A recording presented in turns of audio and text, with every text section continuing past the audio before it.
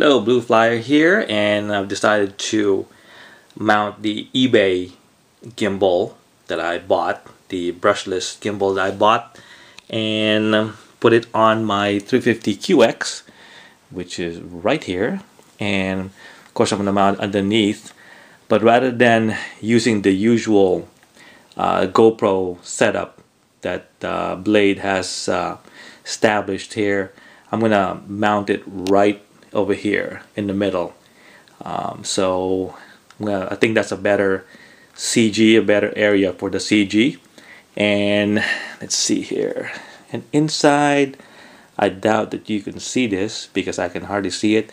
I think there's enough space there to uh, bring in some screws and whatnot. So uh, I'm gonna get this going and uh, share the step by step. Okay, so this is what I'm talking about. I'm gonna mount that. Uh, let's see here, the camera mount and center it up right there.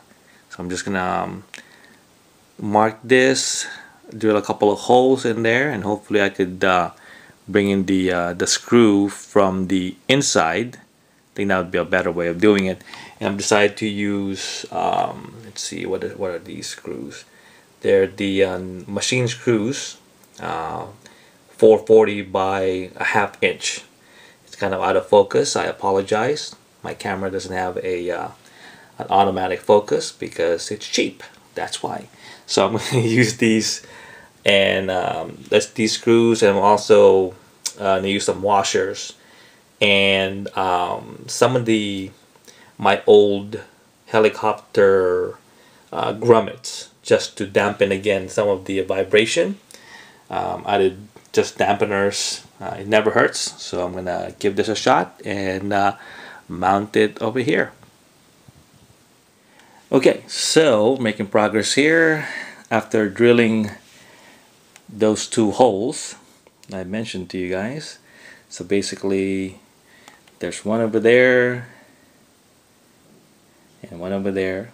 And so I just drilled two holes. I didn't want to do three. I don't think you need to, to, to put three holes in there plus I don't want it to uh, to crack right in the middle there just in case. And so uh, it should be all secure all secured there. And uh, I just inserted the two screws that I mentioned to you. And then inside it's gonna be tough to see here. Inside I put a washer as well. And with the um, with the nut so make sure you have a washer inside as well.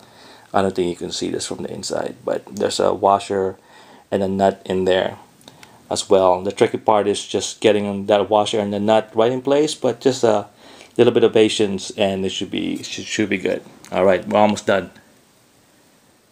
And we're done. So it's all hooked up over there.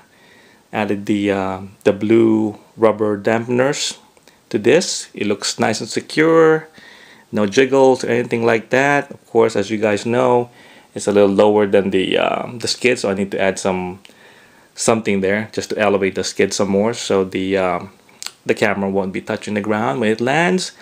But all in all that wasn't bad modification and I'm probably gonna add some zip ties a couple of zip ties just to uh, just for safety sake to those to those things. That's a pretty easy to do so um, once again, thanks for visiting and uh, leave me some comments, some tips, anything you guys want. Uh, just nothing negative because I will um, basically just delete it. All right, this is uh, Blue Flyer. Thanks again. I'll see you later.